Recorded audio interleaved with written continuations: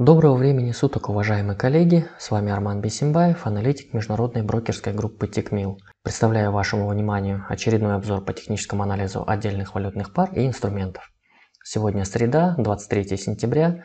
Предлагаю для рассмотрения золото и индекс S&P 500 Золото начало свое снижение в рамках коррекции старшего порядка, тогда как индекс S&P 500 также снизился в рамках ожидаемого сценария, но сейчас появились сигналы о том, что индекс, скорее всего, уже закончил свою нисходящую коррекцию и сейчас есть некоторые основания для нового роста.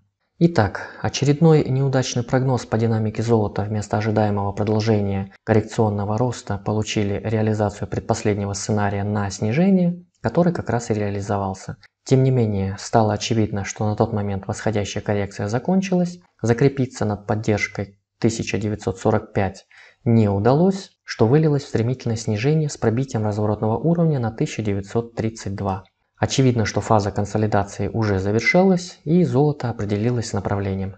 Восходящая коррекция завершилась сигналом к чему стало уверенное закрепление ниже технических уровней. Это сигнал к смене приоритета с восходящего на нисходящее.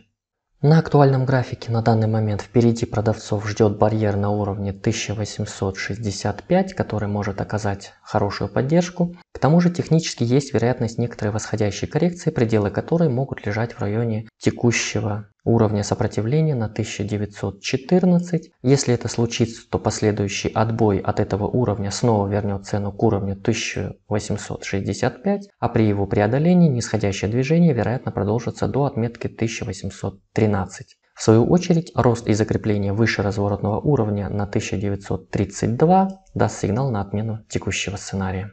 Сценарий на продолжение снижения по индексу S&P 500 полностью реализовался, причем динамика совпала с довольно-таки ювелирной точностью, что случается нечасто. После состоявшегося ретеста сопротивления на 3426 последовал отбой от него и котировки начали снижаться, достигнув обе обозначенные целевые точки на 3274 и 3246. После достижения целевого уровня на 3246 индекс обнаружил тут поддержку, что позволило ему оттолкнуться от него и начать восстановление. В данный момент цена торгуется в районе уровня 3310. Это наталкивает на мысли о том, что вероятно коррекционное снижение могло закончиться и сейчас может начаться новый восходящий импульс. Однако данное утверждение еще требует подтверждения, тем не менее есть некоторые основания для смены приоритета на восходящее.